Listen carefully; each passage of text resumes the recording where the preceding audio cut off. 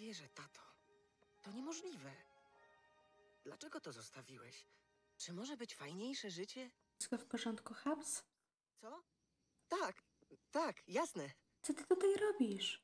Nie masz jakiejś rodziny, domu przypadkiem? Jakie to ma znaczenie? Wszędzie jest jednakowo.